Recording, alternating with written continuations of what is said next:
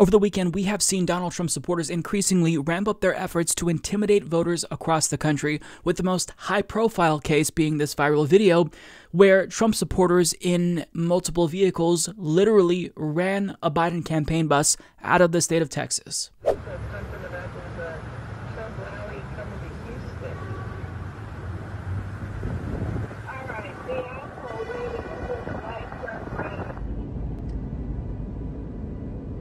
Running them out of Texas. It is hilarious. I'm about to run out of gas, which I'm sure some of you would love. Shit, look at that. oh my God.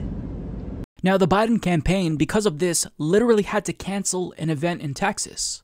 Now, if this was just some like impromptu protest when they saw the Biden campaign bus, I think that that's fine, right? Nobody cares if you're going to protest politicians. In fact, we should be protesting politicians. But this was a coordinated effort to intimidate the Biden campaign to get them to leave the state of Texas. That is something very different, something much more nefarious than protesting politicians. This is intimidation, suppression of the opposition forcibly. And this isn't a new phenomenon, as this Twitter user points out, saying, I'm in East Texas. Since about September, we've been subjected to these tactics. For instance, every weekend they have a MAGA parade through town. They drive to the areas that are predominantly black with their flags and guns on full display. It's designed to intimidate us. And he's 100% correct. This is specifically designed to intimidate voters, intimidate people who don't fall in line and support Donald Trump. And it's not something that's unique to Texas. As you can see from this tweet here, there are cars in New York driving around with an anti fascist on their hood to signify them, I guess, running over anti fascists. So, you know, this is them signaling their support for violence of the opposition. And also in New York, Trump supporters literally blocked and completely shut down Mario Cuomo Bridge. They shut it down completely. These are the same people who tell us that we should run over protesters who block traffic, but now they're literally shutting down a bridge. And in New Jersey, Trump supporters completely shut down Garden State Parkway. So it's okay for them to shut down highways. They're just being patriotic and showing their love and appreciation for the president. But when Black Lives Matter protesters do that, they celebrate when cars drive through them. This is what we're dealing with now. Now, in this next video that I'm going to show you, we don't have the context as to why this altercation happened, but basically, a group of Trump supporters circled a 20 year old girl, and what happened was horrifying. They're blocking me in. Don't worry about it. It's okay. Report. That's fine. They're blocking me in. The Patriots followed me. This is their true colors. I want everyone to know they came. This is a hate crime. They're coming up to my car right now. Get out the car! Get out of the car! Get out of the car! Get out of the car! I'm not scared. If I was scared, I would have left. I need everyone to see this. That's why I'm chilling right here. For what?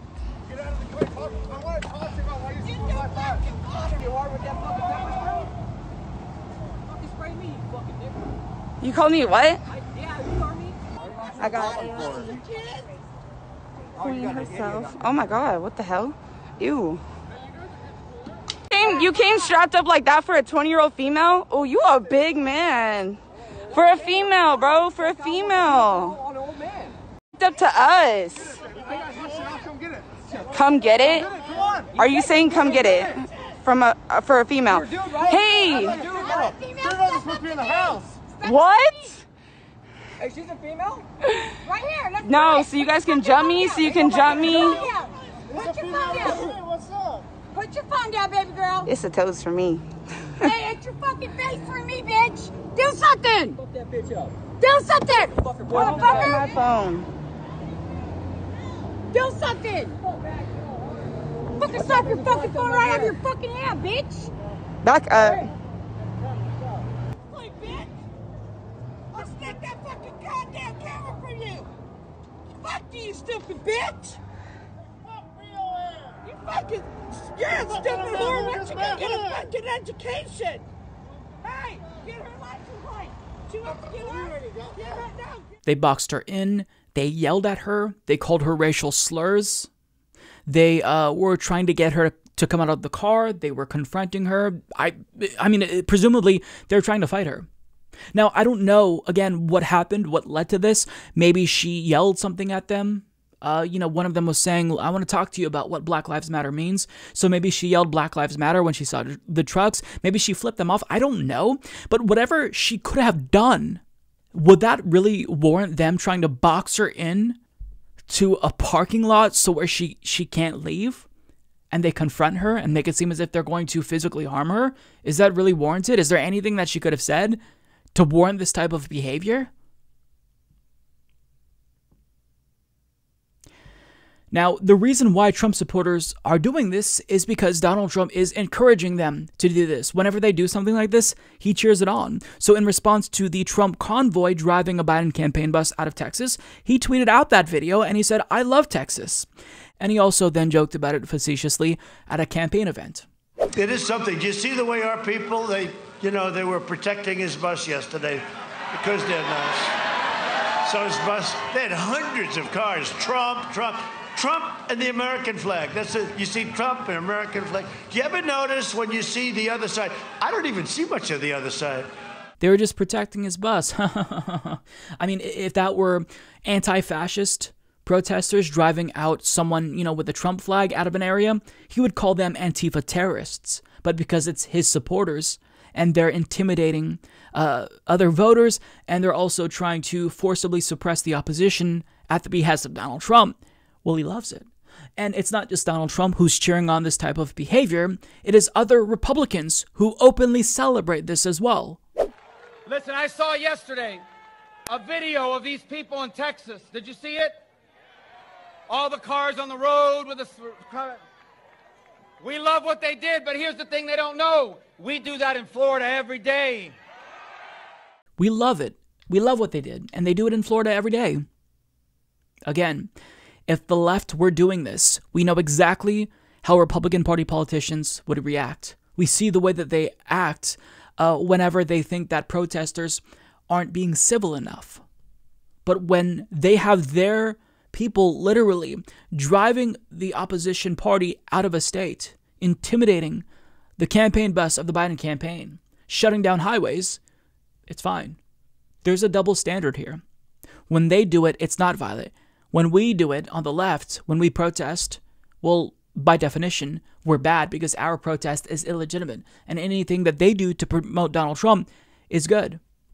So you have to understand that this isn't just like some unique phenomenon that will only occur because of Donald Trump and the 2020 election, even if Donald Trump is defeated, fascism isn't just going to disappear it's going to be here for a while because the Republican Party isn't just a far right party or a proto fascist party.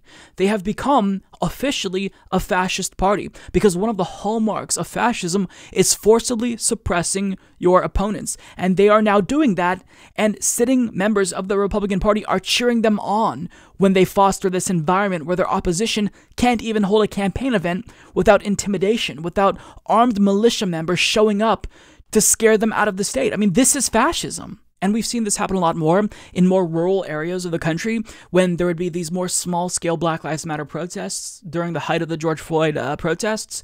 And you would see members of far right pro Trump militias show up, stand there with guns to intimidate the peaceful Black Lives Matter protesters. And police officers would let them do it. And, you know, they'd oftentimes coordinate with cops in many instances, including in Oregon, in rural areas of Oregon. It's happening everywhere.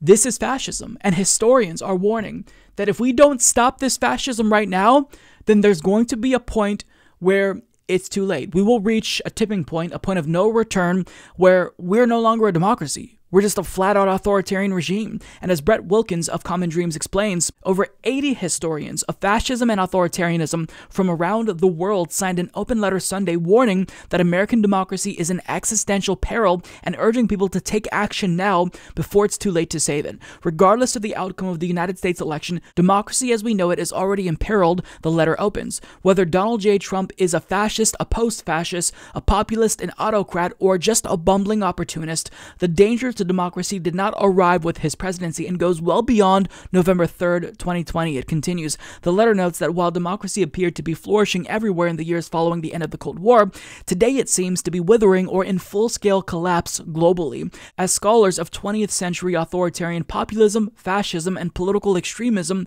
we believe that unless we take immediate action, democracy as we know it will continue in its frightening regression, irrespective of who wins the American presidency in early November, the authors write.